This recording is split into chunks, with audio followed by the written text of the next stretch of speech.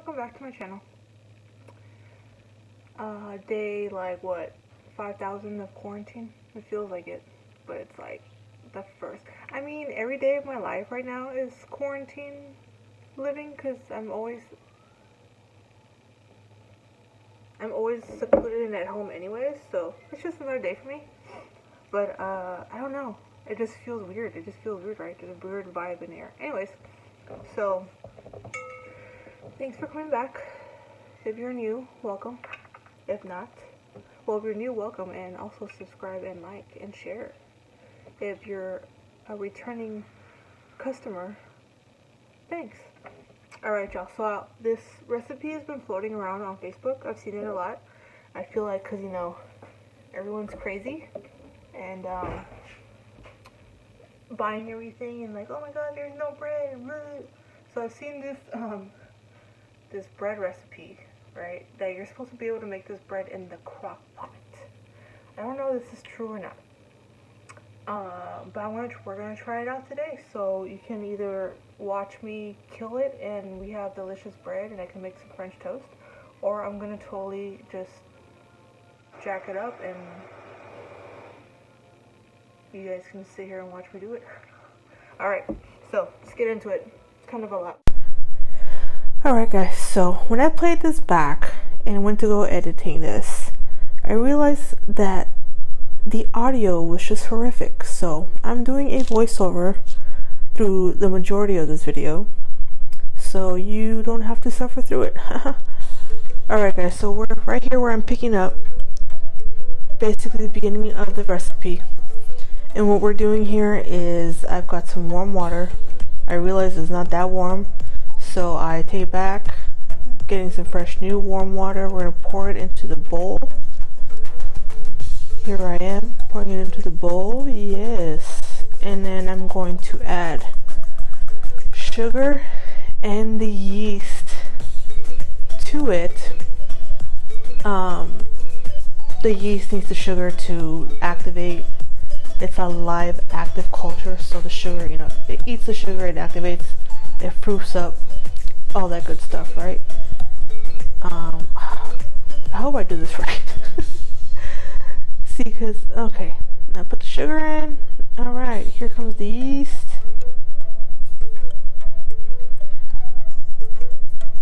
Doo -doo.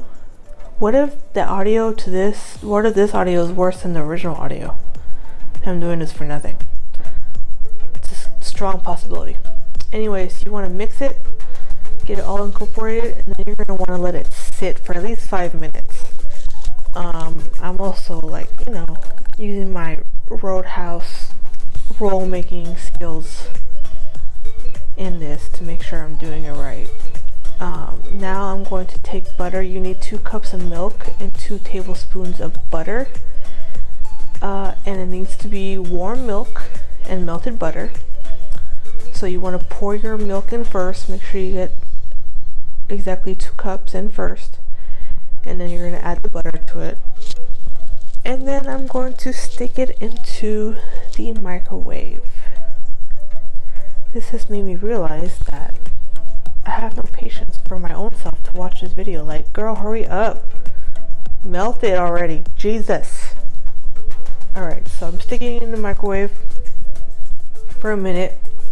I come back I'm talking I honestly don't remember what I'm talking about at this point. Oh, I think I'm reading the recipe. Um, because I wrote it down. So I wasn't going to be able to like read the screenshot and do the video at the same time. So I'm reading the paper. Um, I'm going to post a picture of the screenshot at the end of this somewhere in here to let you know what the ingredients are and what you need to do to make this um, I'm taking out the salt. I'm letting you know that whenever you're baking and you're using salt, you want to use the iodized salt. Um, that's kind of like the go-to unless the recipe specifically says use kosher salt or use this other salt, that salt. You always want to use just regular table salt for that. And you're also going to need some baking powder for this. And what am I doing? Nothing. Oh, I'm remembering that I forgot about the milk. and it could have been very bad. It could have exploded everywhere, but it didn't. It's a lot of milk. It wasn't melting. The blob of butter was still floating on top. So I'm gonna stick it back in the microwave for like another two minutes, and um, not forget about it. See, and then when I'm doing all these moving of the camera, because you know, obviously I'm a rookie and I suck at this, like you can hear it, it's so loud.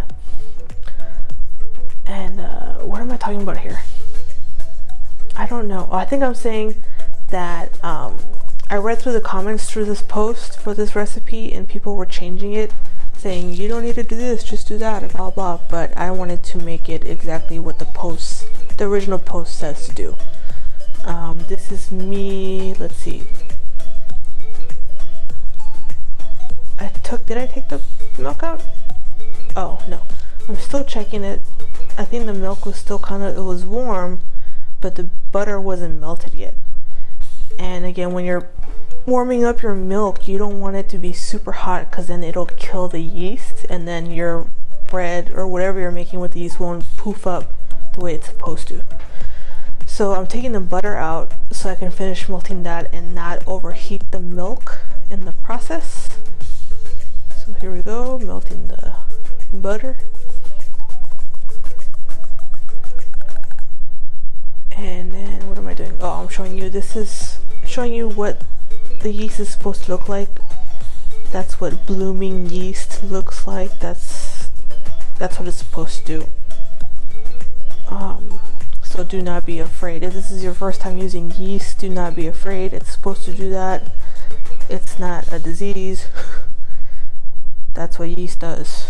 That's what makes bread and well, I mean that yeah, you mainly use it for bread. That's when your yeast grows. That's why they get nice and poofy and airy. It's because of the yeast. Alright, so my butter is melted. I'm trying to show you, but because I had lack skills in that area, you don't see it. So I'm stirring it. I want to pour it back into the warm milk. And then I'm to grab my small little spatula and scrape it in there. I scrape I scrape everything, especially if it's glass. Like I'm scraping everything. Get it out of there. I'm not wasting no food.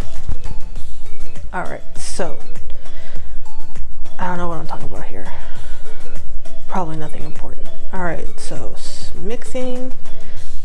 I think I'm gonna finally pour it into the yeast. Oh no, this is where I can't decide if I want to pour it in yet because I didn't set a timer for my yeast so I'm hesitant as to if the yeast is ready for me to pour it in there or not.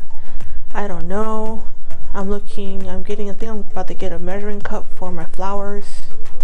For the flour to, you know, measure it, I'll put it into the mixer, whatnot. Doo -doo -doo. I'm back. I found the measuring cup, but I washed it out. And all that good stuff. All right. This is me still debating if I want to put it in the yeasted. I don't know what I'm talking about. I don't remember what I was talking about here.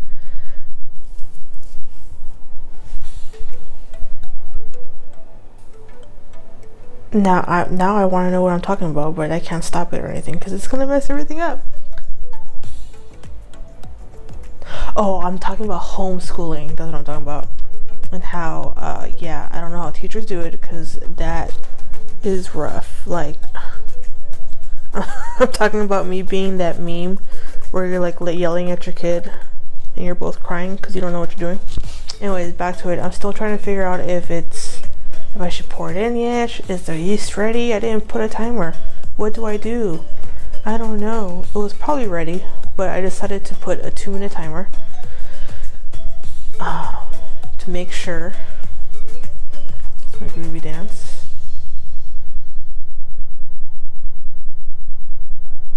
We're waiting. Thumbs up. Trying to look skinny. Not happening. And then I remember the time when I tried to use the microwave for a timer, but for like 10 minutes, and it almost exploded, and it was scary. And I don't know why I did that. This is me still telling the story.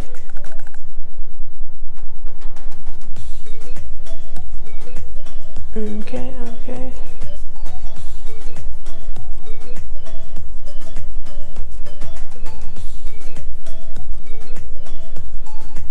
This is me debating if there's a timer on the microwave. No, there isn't. There's one on my stove, but I wasn't gonna use it. Waiting a little longer.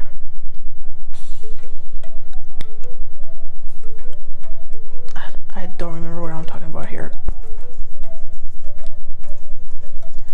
I do not know.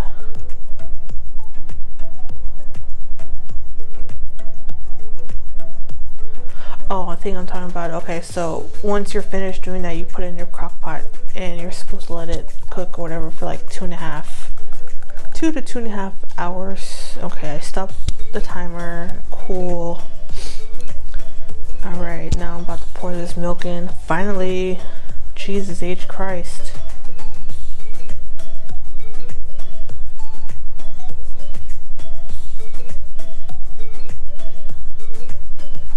Scraping. Okay, and then I'm fixing to add the salt and the baking powder into it first. A teaspoon of salt, no, it's two teaspoons of salt, and then one teaspoon of the baking powder that's gonna go in there.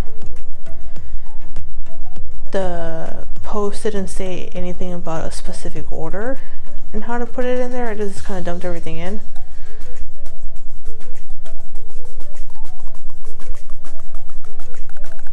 Alright, here comes the baking powder. The baking powder I put through a little mini sifter because it was kind of like lumpy and hard and I don't want like a lump of baking powder somewhere in the middle of the bread.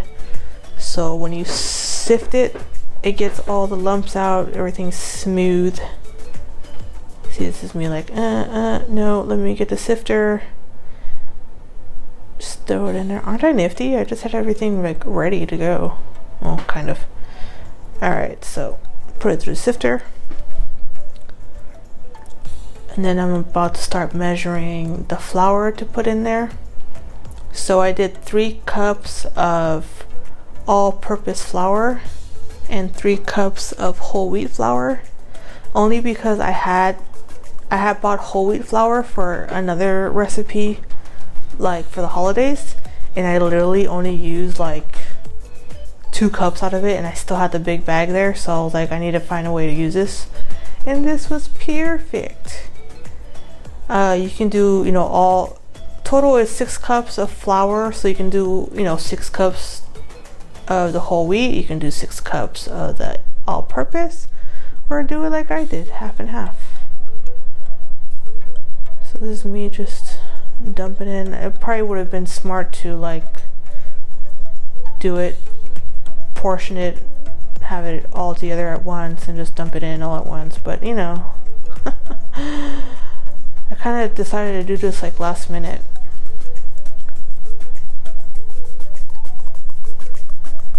So getting all the flours in there. Alright, so I think I'm going to speed this part up right here. Speed up, speed up, speed up.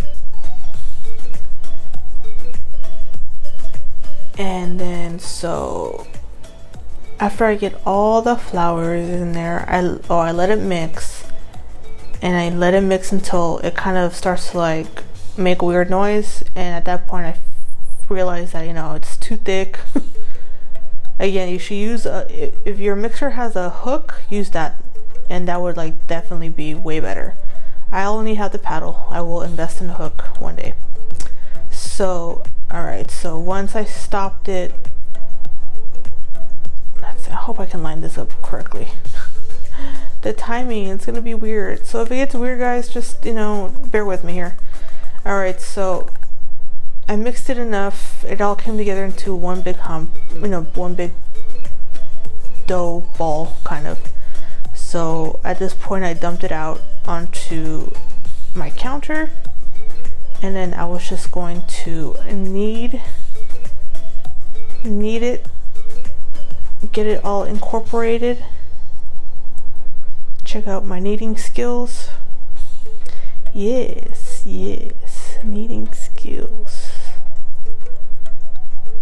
And don't be afraid to knead it. Um, like I said, you know, when I used to make bread for Roadhouse, we would actually like have it in a mixer for 15 minutes. So, you know, kneading it for a couple minutes with your hands is perfectly fine. Don't be scared. I was just trying to get all the, you know, some parts were really wet and sticking to my hands, and other parts were super dry. So I was just trying to get everything into one consistent ball of dough. All right. And so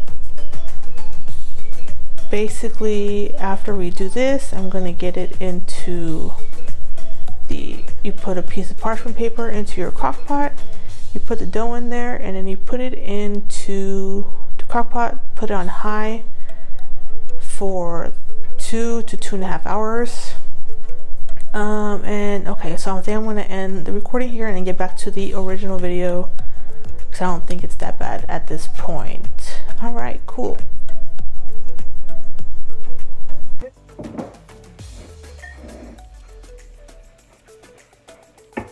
Alright so, this is my insert for the crock pot. I got my nifty parchment paper. And gonna put my ball of dough. It didn't say to like spray the paper or anything, or we're just gonna hope that it peeled off nicely. This is what it looks like. Yay!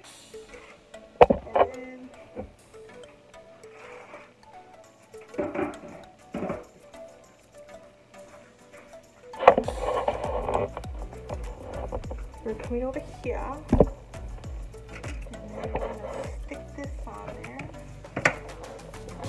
Here, tiny woman. Alright, so it says to put it, I'm putting it on high for two and a half hours. It's 3.30. So I'm gonna put a timer on my phone because I'm gonna mess it up over here. Alright guys, so I'm gonna come in, check in with y'all, let you know how it comes out. Cross your fingers. Okay, see you in a little bit. Alright guys, so it has been two hours. Ew, where's my light? it's been two hours since we, uh, since I put the bread in the crock pot. My timer just went off. It is now 5.30. So we're gonna take a look at it. Oh, now the instruction says that, um, I'm gonna put a picture of the post here. It says to, it's ready when the top is like dry and spring, like it's spread, it's not mushy or anything. So we're gonna check it out. Alright. I unhinged it.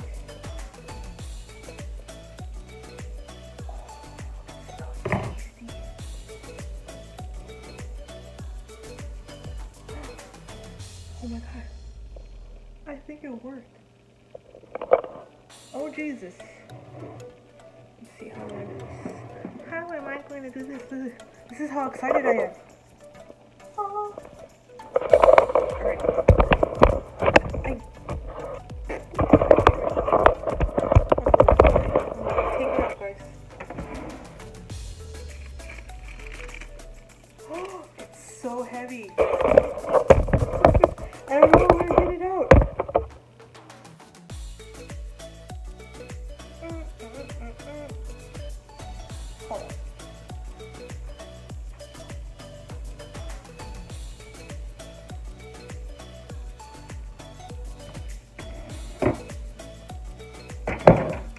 Guys, a crock pot gets hot. Oh, really? Oh, okay, I want to move it over here. So we have more space. Oh, I just, I just made coffee and I forgot about it.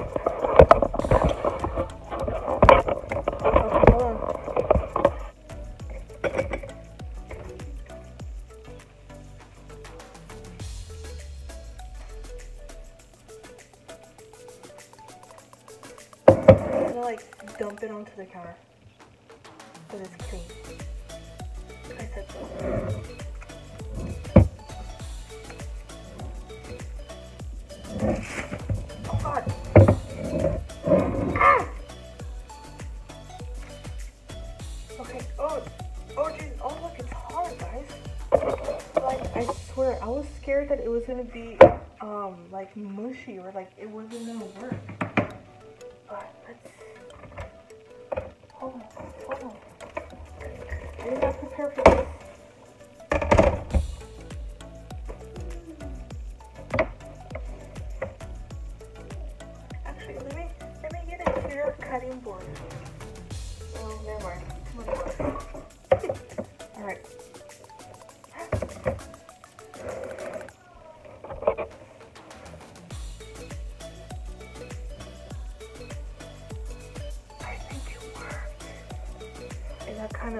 Messed up right there, so when I just like rolled it out, and it got stuck to the side of the crock pot. But other than that, I think I made bread. Let me get the bread knife.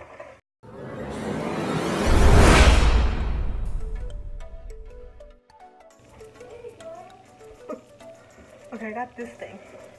Remember, remember kids, you always want to use a serrated knife when you cut bread. Don't be trying to use no chef's knife, no straight edge knife, because you're just gonna mush the bread down. Pro tip. Alright. Oh, I'm like legit excited, guys.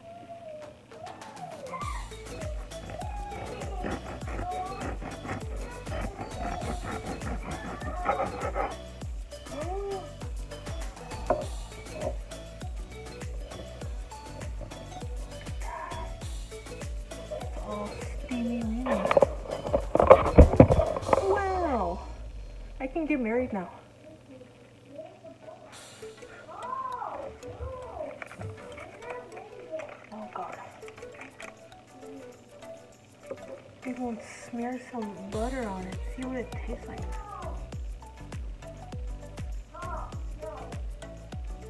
I don't know what's happening over there with the dog and the kids, but I don't want to know. I just don't want to start yelling. Let's see, like, is it even any good though?